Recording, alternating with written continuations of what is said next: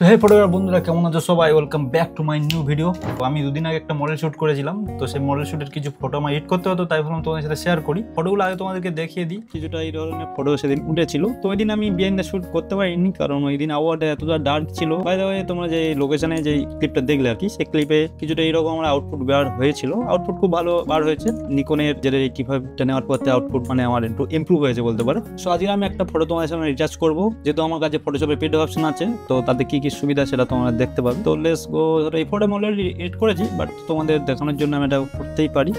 কারণ যে মডেলকে মানে সরি যে মেকআপ আর্টিস্টকে আমার চার পাঁচটা ফটো দেওয়ার কথা, তার মধ্যে আমি কটা এডিট করেছি, ছটা হয়ে গেছে অলরেডি সো তোমরা দেখে নাও আউটপুটগুলো তার আগে আমি তোমাদেরকে ডিটেলস দেখাচ্ছি। অ্যান্ড কিছুটা এইভাবে আমি রিটাচ করেছি সব ফটো এটাই লাস্ট সব বাদ দাও, আগে আমাদেরকে এটা যেহেতু ফটোশপের এটা এডিট করব, তো সেই ফটোটা আগে আমরা দেখে নিই। এটাই আমি এডিট করব। শুধু ড্রাগন ডাও করলাম ফটোশপে ওপেন আর স্টেপ বাই স্টেপ তোমাদেরকে গাইড করব, ঠিক আছে? পর পর পর পর মানে যা আমাদের সামনে যা সমস্যা আসবে, সেগুলো আস্তে আস্তে সমাধান করতে যাব। তো প্রথম আমরা ক্যামেরা রতে খুলে নিয়েছি, দেখা তো ফটোটা প্রচুর ডার্ক হয়ে আছে। তো প্রথমে আমরা লাইট দিয়ে শুরু করব। তো প্রথমে আমার শ্রেণীটা হচ্ছে বেসিক লাইট কালার এগুলোকে আমরা ঠিক করা। তো প্রথম এক্সপ্লোর দিয়ে শুরু করি, যেহেতু ডার্ক আছে। তো মডেলের ফেসটাও লক্ষ্য রাখবে, কারণ মডেলের ফেস এই পর্যন্ত ঠিকঠাক আছে। এবার যদি এর উপরে আমি যাই মডেলের ফেস কিন্তু ওভার হাই ওভার এক্সপোজ হয়ে যাচ্ছে। সো যতটা মডেলের ফেস আমার ঠিকঠাক, ততটা আমার রাখতে হবে। পিছনে ব্যাকগ্রাউন্ডটাকে আমরা শ্যাডোর মাধ্যমে ঠিক করতে পারি। তো এরপরে কন্ট্যাক্টটা একটু মাইনাসে রাখলাম। হাইলাইট শ্যাডোটা আমি একটু অনেকটা ডিক্রিজ করব। দেখা যাচ্ছে পিছনে যে ব্যাকগ্রাউন্ড ডার্ক হয়ে আছে, সেটা চলে এসেছে। তো তোমার যদি মনে হয় যে ব্যাকগ্রাউন্ড ডার্কটা প্রচণ্ড বেশি ডার্ক হয়ে আছে, সেটা তোমরা মার্কসের মধ্যে দিয়ে ঠিক করতে পারো, যেটা আমি শেষে দিয়ে করছি। তো প্রথমে স্টেপ বাই স্টেপ করে যাই। দেন সেকেন্ড হচ্ছে আমার হোয়াইটটা একটু বাড়িয়ে নেব, তারপরে ব্ল্যাকটা সামথিং এই পর্যন্ত আশা করি ঠিকঠাক আছে, মোটামুটি এরকম। তারপরে আছে কালারের ডিপার্টমেন্ট কালারের ডিপার্টমেন্টসে বলতে গেলে ফটোটা একটু হালকা ব্লুটন হয়ে আছে। সেটা সামথিং আমি এগুলো করে নেব জাস্ট এতটা। ইফেক্টে আমার কোনো কাজ নেই আপাতত এখন। এরপরে আছে কার্ভ কার্ভে আমার এখানেই প্রথমে অ্যাডজাস্টের প্রথমে যে ভ্যালুটা আছে, সেখানে আমি ডার্ক একটু বাড়াবো, অল্প অ্যান্ড শ্যালোটা করে সামথিং কিছুটা এই পর্যন্ত করার পরে এরপরে চলে আসবে কালার সো কালারে এখানে যেহেতু গ্রিন কালার নিয়ে খেলা, তো গ্রিনের আমি স্যাচুরেশন ডাউন রাখব। স্যাচুরেশন ডাউন করলে কী হবে? একটু সিনেমাটিক টাইপের ভাব আসবে, যেটা আমার দেখতে খুব ভালো লাগে আর আর এইসব ফটোতে এটাই যাই এখানে স্যাচুরেশনটা যদি আমি আপার করি, তো এখানে গ্রিনটা বেশি খেলে আসবে।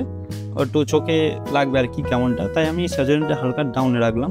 তারপর চলে আসে কালার গ্রেডিং এখানে আরও অনেক কিছু দেওয়া আছে কালার মিক্সারে কিন্তু আমার দরকার নেই আপাতত। তো পরে যদি আমার আছে তারপরে বলছি।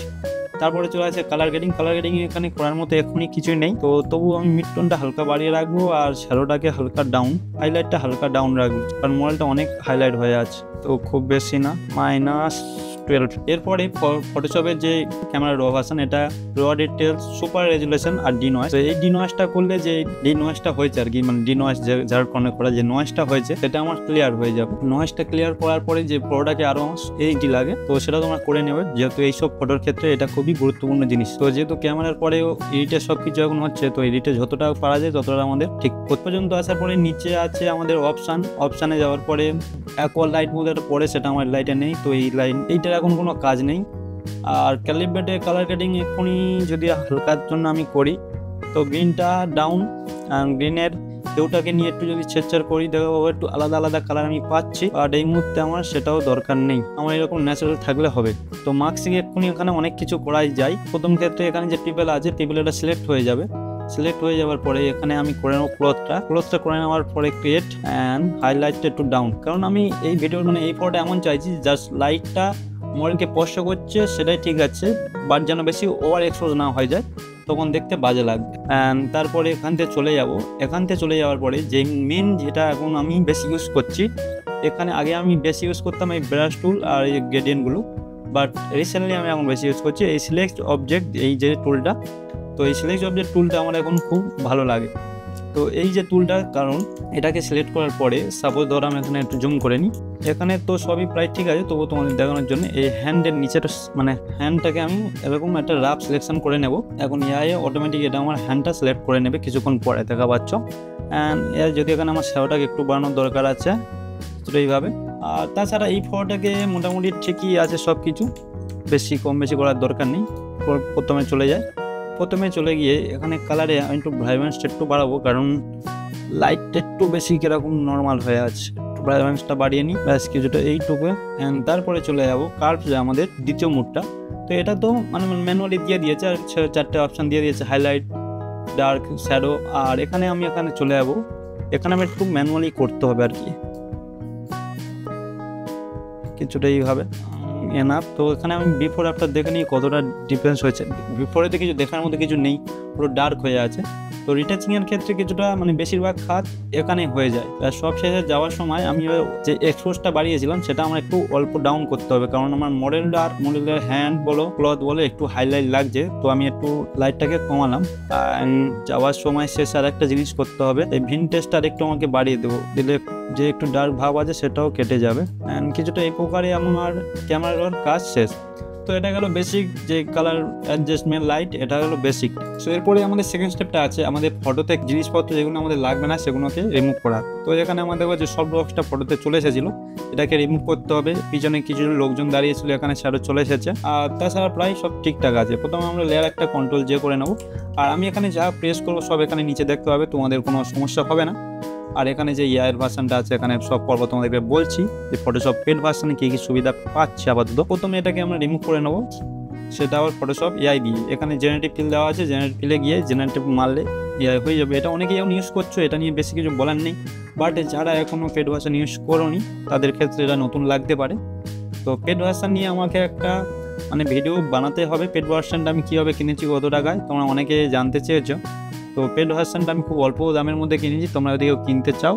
তো আমি ইনস্টাগ্রামে একটা ভিডিও বানিয়ে দেবো, সেখান থেকে দেখে নিও। কারণ অ্যাডোবির এইসব ব্যাপারে যদি আমি এখানে ভিডিও বানাই, খুব একটা রিক্সের ব্যাপার আছে। তো ইনস্টাগ্রামে আমি একটা ভিডিও লিঙ্ক দিয়ে দেবো, আমি একটা বানিয়ে পড়ে তো সেটা দেখে তোমরা আমাদের কমেন্ট করতে পারো। এখানে আমার তিনটে অপশান দিয়ে দেয়, সেটা অনেক দিন থেকে যাচ্ছে। প্রথম অপশানটাই ঠিকঠাক লাগছে, নাহলে এগুলো বেশি আবার শ্যাডো হয়ে যাচ্ছে। তো প্রথমটাই থাকল। অ্যান্ড তারপরে আবার এসে যে এখানে হালকা কিছু লোকজন দূর থেকে শ্যুটটা দেখছিল, তাদেরকেও রিমুভ করে দিই। এইসব জিনিসপত্র ফটোতে যত মানে না থাকবে, তত পরে দেখতে ভালো লাগবে। এগুলো একটু তোমার ফটোটা দেখে নিয়ে করো যে কোথায় কম বেশি আছে, তবে তোমরা বুঝতে সুবিধা হবে। তো যত ব্যাকগ্রাউন্ডটা ফ্রেশ থাকবে, তত তোমার ফটোটাও ভালো লাগবে। ওটাও গেল। অ্যান্ড যে রাস্তাটা দেখা পাচ্ছ, এই রাস্তাটা শুকনো। এখানে একটু ভিজে জল পড়ে গেছিল। ব্যাপারটা খুব বাজে লাগছে। তো সেটাকে আমরা একটা রিমুভ করার চেষ্টা করব। কিছুটা এইরকম একটা ফুল ফিল করে নিই দেখি এআই আমাদের কতটা কি হেল্প করে। এআই আসার পর ফটো এডিট করতে খুব আরও ভালো লাগে। যে ঝড়ের মতো কাজ হয়ে যায়, কোনো উল্টো পাল্টা জিনিসও করে না। এইটা যদি আমি ম্যানুয়ালি করতাম, তো অনেক বিশ্রী ভাব হয়ে যেত। এটা করার দরকার নেই। তো এআই আছে যতক্ষণ যেহেতু টাকা দিয়েছি, একটু তো সৎ ব্যবহার করতেই হবে। তো এখানেও ফিরে তিনটের দিয়ে দিয়েছে দেখি বিফোর অ্যান্ড আফটার এই অপশানটা একটু ঠিকঠাকই আছে। এখানে নিচে একটা কি চলে এসেছে। তো এর জন্য আমার এআই লাগবে না, এর জন্য এই টুলটাই কাপি রিমুভ টুল একটু জুম করে নিই। দেন টাইম নেবে একটু আর কি ভালোভাবে করতে হলেও টাইম নেবে। যে কোনো কাজ ভালো হবে। এই কটাকে আমি গ্রুপ করে নিই কন্ট্রোল জি তারপরে কন্ট্রোল শিফট অল্টি করে একটা মাঠ এরপরে আসে মডেলটাকে নিয়ে মডেলের আমার এখানে ফ্রেশে বনোটনো আছে। সেগুলোকে একটু মানে করতে হবে। এই যে ব্রোনো এ আছে আর এই যে হেয়ার আছে, এই টুকটাক এই হেয়ারগুলো বলো আর এখানে সামথিং হেয়ার। মানে এবার মডেলটাকে নিয়ে আমার কাজ। প্রথমে একটা এমটি লেয়ার নিয়ে নেব। নেওয়ার পরে এই যে মানে ইয়ে যে টুলটা আছে সেটা নেব। এখানে দুটো মুট আছে। হচ্ছে স্পট হিলিং ব্রাশ টুল আর একটা হচ্ছে রিমুভ টুল তো এই রিমুভ টুলটাকে নিয়ে আমি এখানে দেখো জেনারেটিভ এআই অফ আছে। এটাকে জেনারেটিভ এআই ওয়ান রাখবে। আর এখানে অটো রাখতে পারো। অটোই থাক। ফাইন ডিটেকশন ওকে এই সেটিংটা অন থাকলেই হবে, ঝড়ের মতো কাজ হয়ে যাবে। আর স্কিন ডিটাচিংটা আজ আর একবার তোমাদের ভালোভাবে বুঝিয়ে দিচ্ছি। অনেকে এখনও তো বারবার কমেন্ট করছ যে স্কিন ডিটাচিংটা তোমাদের সমস্যা হচ্ছে। দেন হেয়ার যেগুলো তোমার চোখে লাগছে সেগুলোকে রিমুভ করে নেবে। যত বেশি টাইম দেবে, তত ফটো বেটার হবে, এখানে বলার কিছু নেই। তো আমি এই কাজটা করে নিই নেক্সট স্টেপ তোমাদেরকে বলছি। আমার এখানে হয়ে গেছে, খুব বেশি ব্রণ নেই দু একটা অল্প ছিল। হেয়ার দু একটা রিমুভ করেছি।